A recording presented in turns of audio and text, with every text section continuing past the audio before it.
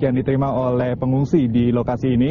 Uh, tadi pagi atau jam 10 itu telah terjadi pertemuan antara Kosrat dan juga aparat kecamatan dan kepala desa.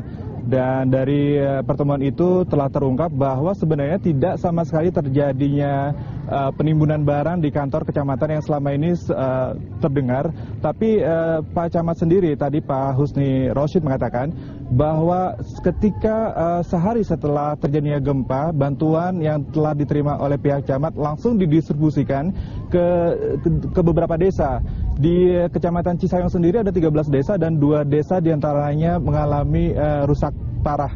Dan distribusi itu sendiri telah diberikan oleh Satgas dari kecamatan dan juga aparat-aparat desa yang langsung datang ke uh, kantor kecamatan.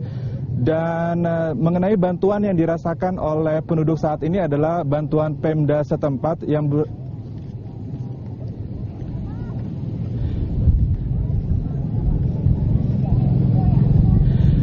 Dan bantuan yang dirasakan oleh masyarakat selama ini adalah bantuan Pemda setempat yang bersifat tanggap darurat. Eh, jadi uh, kalaupun uh, ada, sorry, tanggap darurat dan belum merupakan sumbangan penuh karena Pemda masih membutuhkan data-data akurat mengenai jumlah korban dan jumlah rumah yang uh, rusak di tempat ini. Dan kalaupun Anda saat ini melihat di sekitar saya, banyak sekali kasur-kasur yang dijemur, kemudian ada juga baik itu di atas rumput maupun di tenda-tenda. Itu karena semalam sempat terjadi hujan dan Anda bisa bayangkan kalau di desa Cisayong yang letaknya di dataran tinggi ini cuacanya sangat dingin. Dan ditambah dengan uh, hujan gerimis membuat kasur sebagai alas tempat tidur mereka basah. Dan akibatnya ada seorang warga yang pada saat ini telah uh, menderita sakit demam. Dan di samping saya saat ini ada Bu Nana. Bu Nana ini adalah warga desa Sukasetia, Kecamatan Cisayong. Bu Nana, uh, bagaimana tidur semalam sempat hujan ya?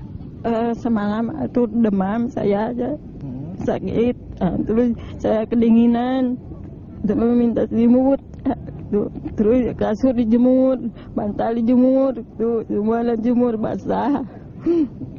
Nah, uh, apakah yang dirasakan ibu itu juga dirasakan oleh uh, pengungsi di tempat ini sendiri? Iya, tempat sendiri, sendiri di, di sini sendiri gitu. Habis tolong minta dibantuin gitu rumah habis itu dan di sini kedinginan, kehujanan semalam. Nah, ibu sakit, sakit demam. Apakah ibu uh, sudah ke dokter? Muntah gitu. Tadi ke puskesmas.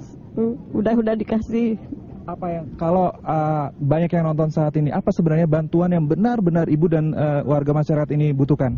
Ya butuhnya minta duit ya sama si limbut ya, uh -huh. ya untuk bikin rumah.